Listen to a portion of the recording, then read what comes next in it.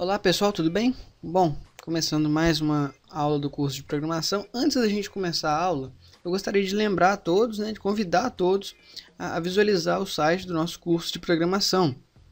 O site está muito bacana, é, é, implementa uma função aqui de busca no site. Se você precisa de uma função rápida, quer saber como que faz um, um determinado método, basta você fazer a busca aqui. É, é temos um campo de newsletter para você ser avisado sempre que tiver uma novidade a respeito não só de videoaulas, mas do mundo da programação. É, o site está muito interessante, convido a todos a, a, a acessar. É, lembrando sempre que o melhor contato é feito através do site, que é o mais fácil de ser respondido, tá ok? E lembrando que aqui você também pode fazer o envio de arquivos. Isso ajuda bastante na hora de eu, de eu responder a dúvida de vocês. Bom, vamos então à videoaula. Eu tenho recebido muito a seguinte dúvida: é, ponteiros, passagem por referência e alocação dinâmica de memória. É, vou começar pela passagem por referência, que, que o pessoal está com bastante dúvida com relação a isso. É, o que acontece? Quando a gente cria uma função, vou criar um, um int é, soma ok? E essa função ela tem um, um, um, um, parâmetro que vai ser o int valor. Vou pôr valor 1. É, e aqui dentro ela vai fazer o seguinte: return valor 1 mais mais. O valor que eu passar, ela vai retornar ele mais 1. Então eu vou chamar aqui, é, vou criar uma variável int valor 2, tá ok? Vou fazer o meu valor 2 receber 5 e vou fazer o seguinte, valor 2 recebe soma passando ele mesmo, valor 2. Então eu estou simplesmente fazendo o 5 ser somado uma unidade. É, eu vou dar um printf aqui, vou colocar 1% de, vírgula, valor 2. Vocês estão vendo que existe a variável valor 2, existe a variável valor 1, ok? Então, quando meu programa começa a rodar, ele começa a rodar pelo main. Ele não executa a função soma ainda. É, então, nesse caso, cria-se a variável valor, aloca-se um pouco de memória para a variável valor. Quando eu chamo a função soma, a valor 2, né? Quando eu chamo a função soma, ela cria uma variável chamada valor 1 e põe dentro dessa variável o que tinha no valor 2, o valor que eu estiver passando aqui. Então nós vamos ter duas variáveis, a valor 2 e a valor 1, ok? No momento que eu faço valor 1 mais mais, eu estou pegando o, 5 né, que eu tenho na memória, eu tenho dois 5 agora na memória, vocês podem perceber. Eu estou pegando o 5 que é que é correspondente ao valor 1 e faço mais mais nele. Então vai fazer 6. E eu retorno pelo retorno da função, né, que ela retorna um int, é, para a variável valor 2. Então o que está acontecendo? No momento que a minha função soma termina de rodar, no momento que ela para, é, essa variável valor 1 é entregue ao sistema operacional, ou seja, o espaço que ela estava ocupando na memória não é mais ocupado, ela é entregue ao sistema operacional. Durante a execução dessa função, existiram então duas variáveis. Se, se um, um, int é, é, ocupa 4 bytes na memória, é, eu tenho duas variáveis, então estou ocupando 8 bytes na memória. Concordam? É, vou rodar aqui só para gente ter a comprovação. Aqui, ele imprimiu 5. Muito interessante. É, vocês já pararam para pensar o que, que faz esse mais mais? O mais mais ele é a mesma coisa que valor 1 recebe valor 1 mais 1, correto? Ele é a mesma coisa.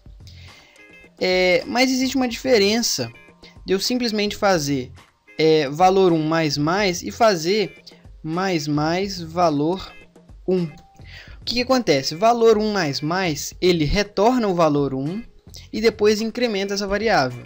Não faz sentido, correto? Eu vou receber 5, vou retornar 5 e depois eu vou incrementar o 5. Não faz o menor sentido. Agora, se eu fizer mais mais valor 1, eu vou pegar os 5 que eu estou recebendo, faço mais mais e logo depois eu retorno. Conseguiram entender? O mais mais antes ele incrementa a variável e depois ele retorna o resultado. Ou ele faz o cálculo que você quiser. O mais mais depois ele retorna a variável e depois ele incrementa. Você pode fazer de duas formas. Ou você usa o return é, é, fazendo mais mais valor 1 e você tira esse mais mais depois. Ou você pode fazer o seguinte. Vou fazer aqui embaixo que é uma outra, uma outra alternativa. Outra alternativa. Se a alternativa é outra, né? É, eu vou criar uma variável int que ela chama valor 3 recebe valor 1 mais mais. E agora eu dou um return valor 3. É a mesma coisa. É, vou tirar ele aqui. Então você tem duas opções. Primeira, fazer return mais mais valor 1. E a segunda, você usa uma outra variável, né? ou você faz a própria variável valor 1 recebe valor 1 mais mais, ou você pode fazer valor 1 mais mais e logo em seguida retorna valor 1. Carreguei um pouquinho de pedra aqui, pessoal. É... Porque qual que é a diferença? Se eu fizer valor 1 mais mais e depois eu retornar o valor 1, é exatamente a mesma coisa fazer mais mais valor 1 e, e, e der o return nisso. É, vou comentar essa linha de cima aqui, só para a gente provar que isso funciona. Eu recebo 5, então ele está me retornando aqui no cantinho 6. Agora eu vou tirar o comentário daqui e vou comentar as duas de baixo. Olha lá, ele retorna 6 do mesmo jeito, tá ok? Bastante interessante essa questão do mais mais, a posição que você coloca ele. Eu vou deixar aqui para é, um exemplo para vocês treinarem. É, bom, então nós estamos trabalhando com o retorno da função. Ah, Gilberto, mas e se eu precisar fazer o seguinte? É, eu quero retornar dois valores. Não pode, não tem como. A não ser que você retorne um vetor. É, uma função ela só tem um retorno. Você não pode ter dois retornos para uma mesma função ou ela retorna é, é, um vetor né, de várias, com vários valores, ou ela retorna um valor só.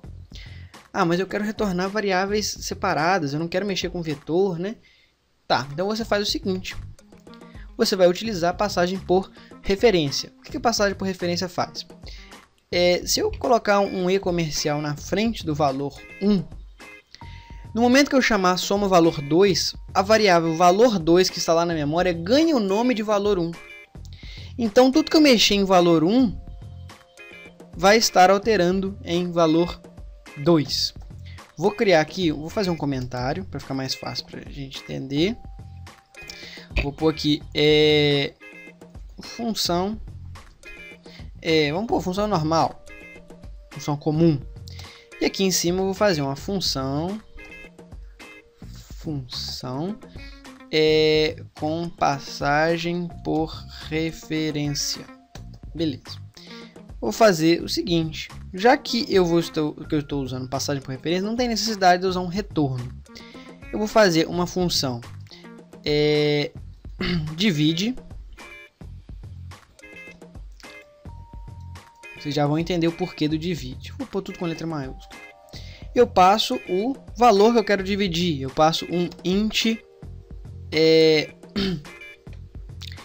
dividendo vírgula int divisor, ou seja, o valor que eu quero dividir pelo outro. Então eu vou fazer o seguinte agora. A divisão ela tem um dividendo, tem um divisor, tem um resto. Vocês lembram lá do resto da divisão? Tem um int resto e tem um int quociente.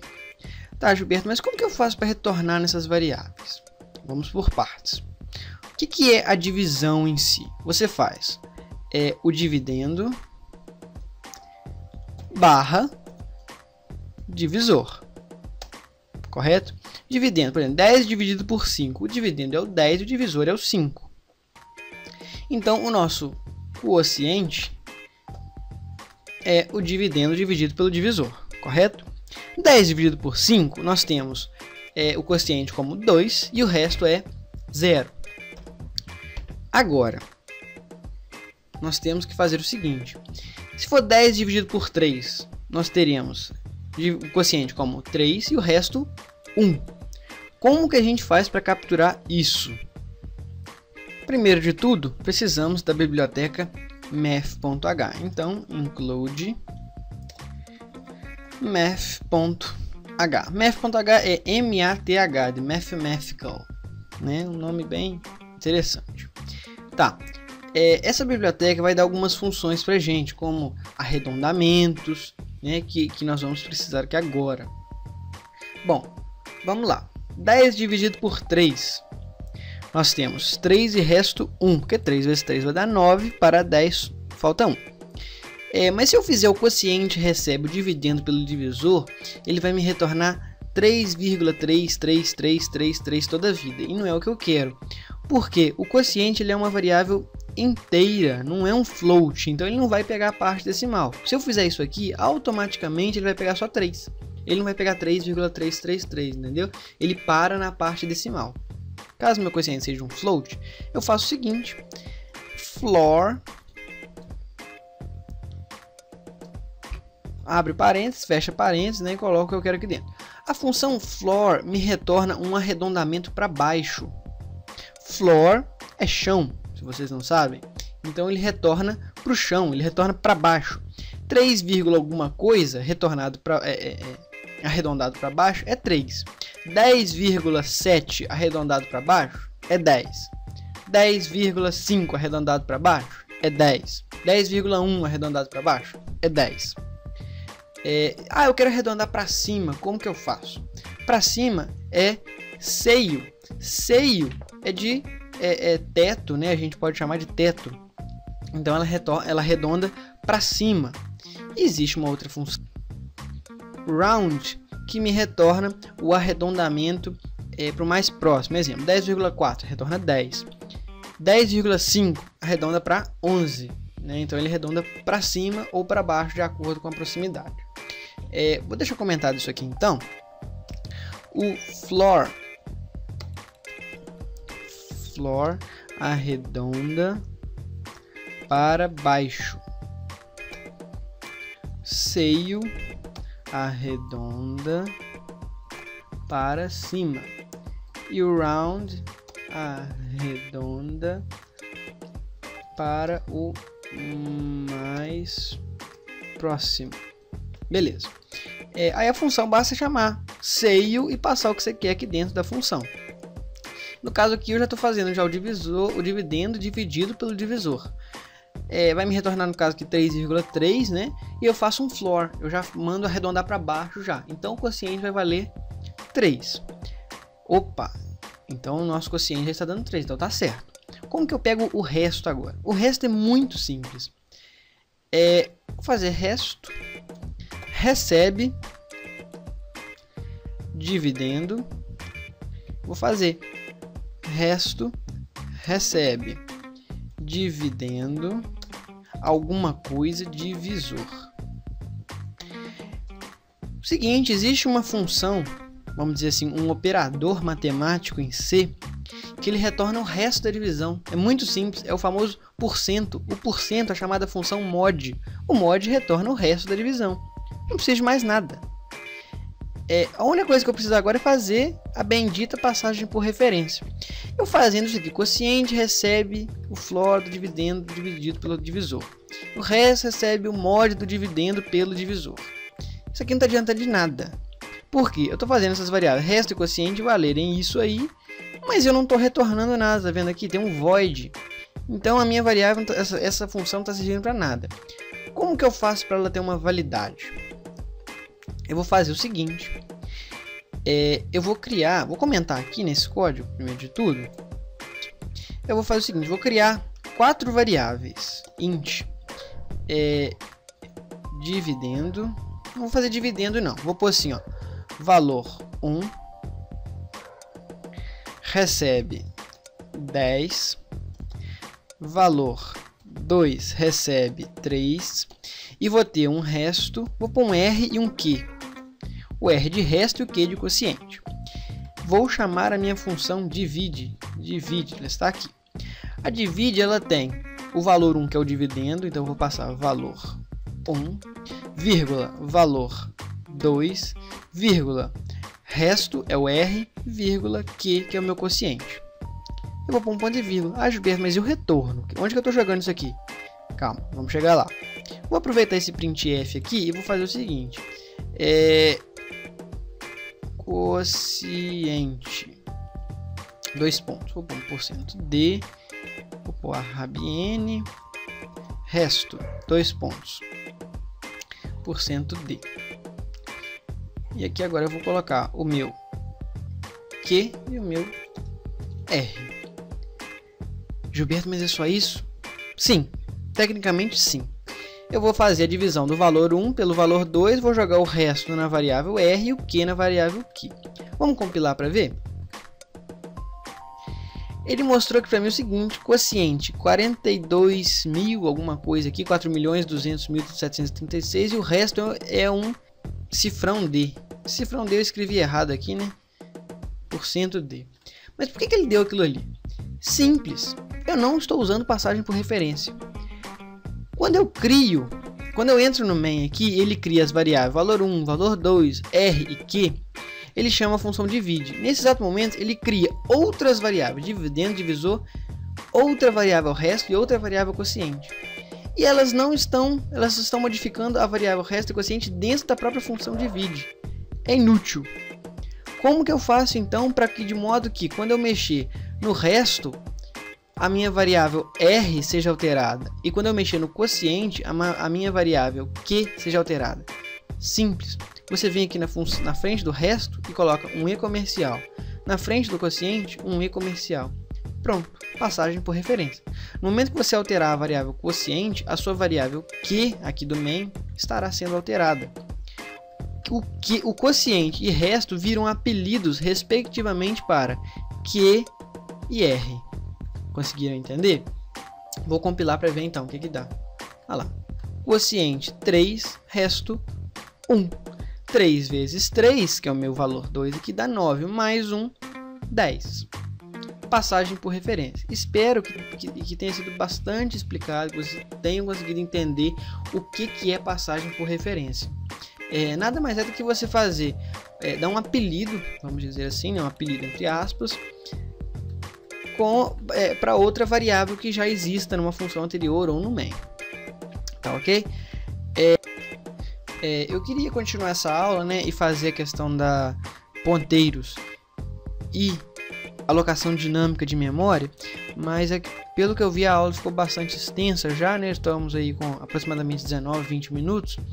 É, e eu vou fazer o seguinte, eu vou deixar para a próxima aula, é, mas para ficar melhor, para todo mundo conseguir acompanhar com mais facilidade, tá ok?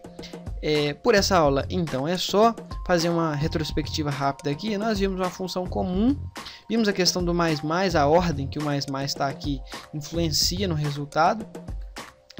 É, e vimos uma outra é, forma de fazer uma passagem por referência, tá ok? Retornando mais de um valor, mais de uma variável ao mesmo tempo. E não é bem um retorno, né? Mas é uma forma bastante interessante. É, agradeço então a todos pela atenção. Agradeço a todos, pelo, a todos os inscritos do meu canal, a todos os não inscritos que aconselho a é, serem inscritos. É, e também convido a todos a acessar o site do curso de programação, tá ok? Muito obrigado, até a próxima e tchau, tchau.